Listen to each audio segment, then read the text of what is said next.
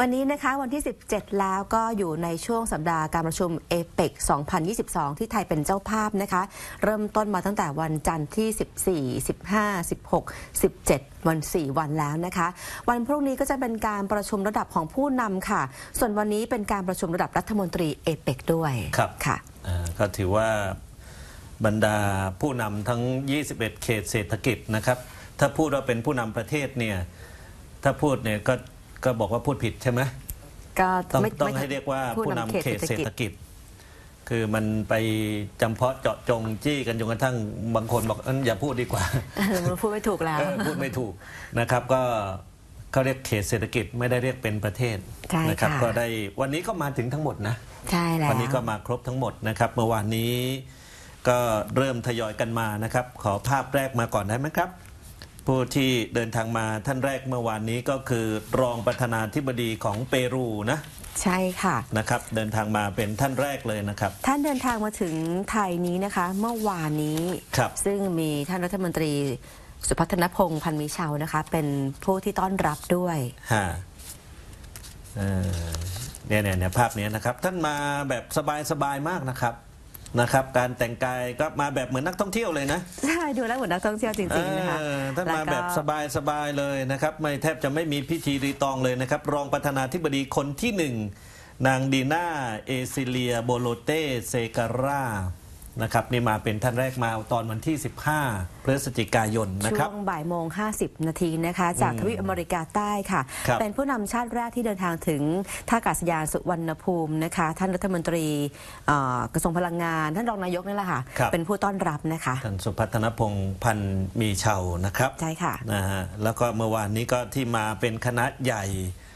นะครับเดินทางมาแล้วก็นายกรัฐมนตรีพลเอกประยุทธ์จันโอชาได้เดินทางพร้อมกับภรรยาไปต้อนรับถึงสนามบินเลย ใช่เป็นช่วง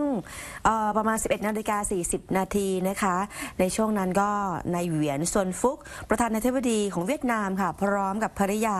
นางเจินเหงียนทูนะคะ เดินทางถึงท่าอากาศยานทหารกองบิน 6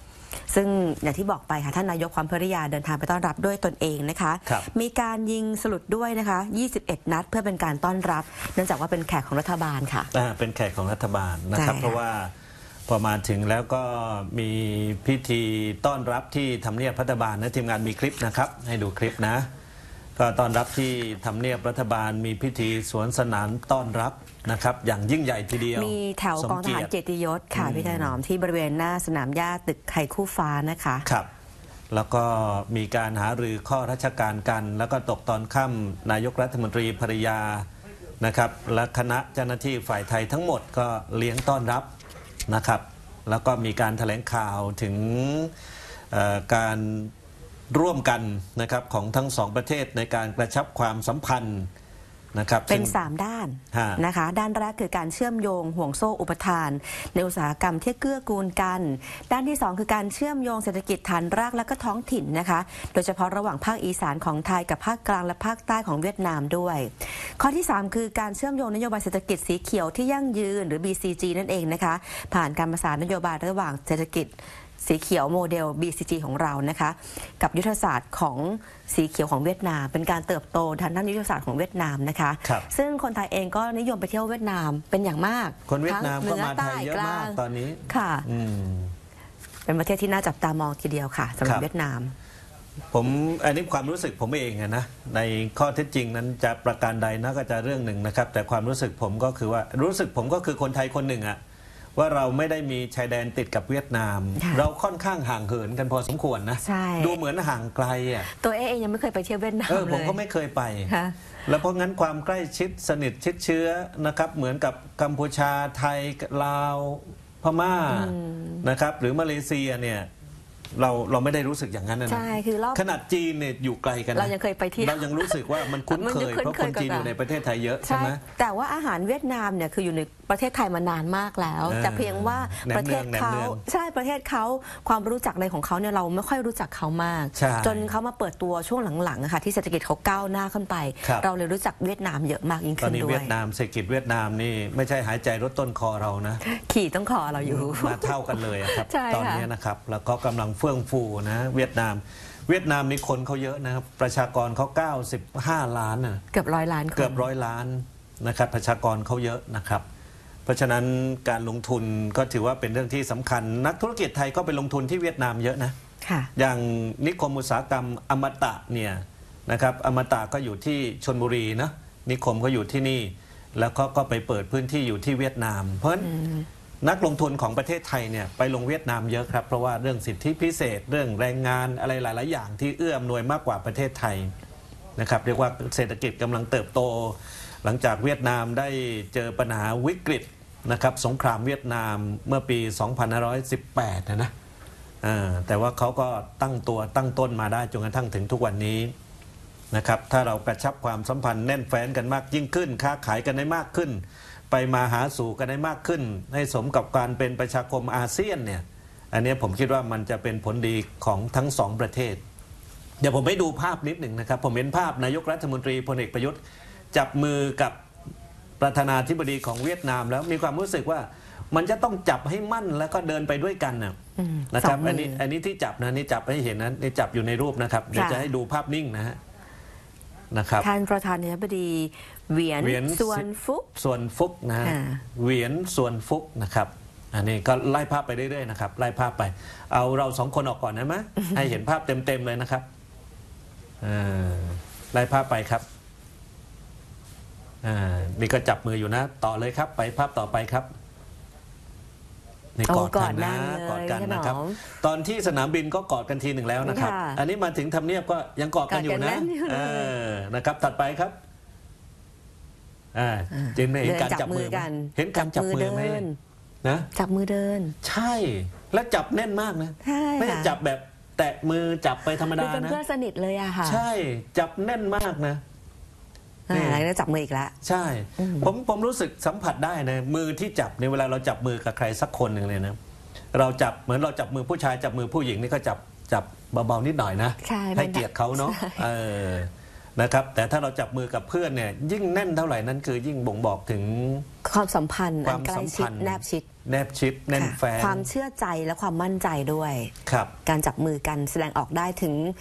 มันเป็นภาษากายใช่ ที่อธิบายได้ไม่ต้องวยภาพพูดอะไม่ต้องอธิบายอะมันไม่ต้องมันไม่ได้มีความเสียแซงออกมันมาสื่อสารลงไปในน้ำหนักอะใช่น้ำหนักค่ะมือที่สัมผัสได้ใช่นะค่ะครับแล้วแล้วเนี่ยแหละผมคิดว่า การค้าระหว่างไทยกับเวียดนาม ความสัมพันธ์การไปมาหาสู่ มันต้องไปด้วยกัน ปราดเขาบอกไว้ว่า ถ้าคุณจะไปไหน ไปให้เร็วเนี่ยก็บอกให้ไปคนเดียว ค่ะ ไม่ต้องรอใคร ไม่ต้องรอใครไปคนเดียว ไม่ต้องห่วงใคร ไม่ต้องห่วงเลยครับไปคนเดียวเลย แต่ถ้าคุณจะไปให้ไกลเนี่ย ต้องต้องไปไปกับด้วยกัเพื่อนนต้องไปด้วยกัน ต้องไปด้วยกันอ่าเนี่ยครับเพ ราะว่าพอมีเพื่อนปั๊บมันก็ไปไหนไปกันนะ ใช่คือเออมาเที่ยวไทยแล้วไปเวียดนามมาเที่ยวเวียดนามแล้วมาเที่ยวไทยต่อเนื่องกันอย่างนี้นะคะทำการค้าการลงทุนก็ก้าวไปด้วยกัน คือบางทีตอนที่ท่านท่านประธานาธิบดีเวียดนามเดินทางมาประเทศไทยเมื่อปี 2560 นะครับจำได้วันนั้นก็คือวันที่ 17 สิงหาคม ปี 2560 เนี่ย ท่านมาทีหนึ่งแล้ว นะครับแล้วก็มาพูดถึงความสัมพันธ์เรื่องการค้าขายกันระหว่างทั้งสองประเทศ ตั้งเป้าไว้ที่ 20,000 ล้านเหรียญนะครับเป้าหมายนะค่ะซึ่งผมดูที่เขาคุยกันไม่มีตัวเลขนี้เลยนะอืมเมื่อวานที่ที่หลังจากคุยหลังจากการแถลงว่าเอ๊ะเมื่อ 5 ปีที่แล้วเราคุยกันไว้เราคุยกันว่านะยังไงเออณขณะนี้ตัวเลขการค้าระหว่างไทยกับเวียดนามเนี่ยตัวเลขมันอยู่ที่เท่าใดนะครับ บางทีเนี่ยคือคือเราก็ต้องทวนความจำบ้างอะนะมันอาจจะสะดุด หยุดบ้างช่วงที่อบเอ่อช่วงโควิดแต่มันต้อง12ปีมีที่ต้อผ่างนต้องมีความคืบหน้าไง ว่ามันผ่านไปใช่ แล้วห้าปีเป็นอย่างไรบ้าเนี่ยงผมผมพอผมรู้ว่านายกเวียดนามอะประธานาธิบดีเคยมาเวียดนามมาปั๊บแล้วค่ะท่านเคยมานี่จำได้เคยว่ามาท่านเคยมานี่ แล้วตอนนั้นลงนามอะไรกันที่ทำเนียบค่ะอะก็เคยลงนามกันแล้วนะครับ ลงนามพิธีต้อนรับสวนสนาม แล้ววันนี้มาอีกครั้งหนึ่ง ก็มากับนายกคนเดิมเราเนี่ยก็คือใช่ พลเอกประยุทธ์เนี่ยแล้วตอนนั้นพูดอะไรกันบ้างเออ ทบทวนความทรงจำกันจำได้หน่อยว่า 20,000 ล้านเหรียญค่ะ นะครับแต่ว่าก็ไม่ได้ให้ความคืบหน้าเมื่อวานนี้นะฝากกระทรวงการต่างประเทศฝากท่านโฆษกรัฐบาลช่วยช่วยเพิ่มเติมตรงนี้ก็ดีนะครับผมมันจะทำให้เห็นว่า เออ มันกระชับขึ้นมากขึ้น แน่นแฟ้นมากยิ่งขึ้น เพราะคราวนี้ก็เน้นย้ำถึงการกระชับความสัมพันธ์ให้แน่นแฟ้นมากยิ่งขึ้น ทั้งเรื่องความมั่นคงเรื่องเศรษฐกิจใช่ไหมเรื่องการแก้ไขปัญหาประมงอะไรต่างๆเหล่านี้เป็นต้นเนี่ย นะครับ ถ้าจะแน่นแฟ้นขึ้นจริงก็ต้องตอบโจทย์ว่าอ้าวห้าปีที่แล้วเป็นไง มาถึงวันนี้เพิ่มเติมขึ้นไปอย่างไรบ้าง ติดตามความก้าวหน้าของความสัมพันธ์ที่ได้คุยกันไว้นะคะ ใช่ การลงนามความร่วมมือต่างครับค่ะ เมื่อวานนี้ทางนายกรัฐมนตรีนะครับที่เดินทางมาท่านลีเซียนลุงของสิงคโปร์ก็มานะๆค่ะ มาถึงเป็นที่เรียบร้อยแล้วนะครับ แล้วก็ของปาปัวนิวกินีนางเอปาปัวนี่ท่าน ปาปัวนิวกินีที่ท่านเดินทางมานะครับ ชื่อใช่ไหมคะ ชื่อนายกรัฐมนตรีนายเจมส์มาราเปค่ะครับค่ะ ก็มาถึงแล้วเช่นเดียวกันนะครับ มาโกสจูเนียร์ของประธานาธิบดีของฟิลิปปินส์ค่ะนะครับก็ก็เดินทางมาถึงแล้วมาแล้วเหมือนกันค่ะ นะครับ นี่ก็ถือว่าเป็นประธานาธิบดีใหม่ ๆ หมาดๆของฟิลิปปินส์นะครับ แล้วก็ตอนดึกที่พลเอกประวิตรวงษ์สุวรรณไปต้อนรับก็คือเอ็มมานูเอลมาครง ใช่ เป็นประธานาธิบดีของสาธารณรัฐฝรั่งสาธารณรัฐฝรั่งเศสนะคะครับเดินทางมาถึงประมาณ4ี่ทุ่ม 17 นาทีเมื่อวานนี้ครับลงสนามบินเดียวกันกับท่านประธานาธิบดีเวียดนามอืมนะคะท่าอากาศยานทหารกองบิน 6 นะคะ เป็นเที่ยวบินพิเศษ ท่านมาจากที่บาหลีครับประประชุมเสร็จตรงนั้นก็มาที่นี่ต่อ บาหลีก็คือการประชุม G20 ใช่ค่ะที่อินโดนีเซียนะคะนะครับก็ท่านก็มาเข้าร่วมประชุมเอเปกนะครับในฐานะที่เป็นแขกพิเศษแขกของพิเศษประเทศไทยนะคะในการประชุมเอเปกครั้งนี้นะคะ แล้วก็เป็นการเดินทางมาประเทศไทยของประธานาธิบดีฝรั่งเศสเนี่ยในรอบ 16 ปีที่ผ่านมา ครั้งสุดท้ายที่ประธานาธิบดีฝรั่งเศสมาถึงเมืองไทยก็คือ 17 กุมภาพันธ์ 2549ครับในครั้งนั้นเป็นประธานาธิบดีชาร์กชีรักค่ะโอ้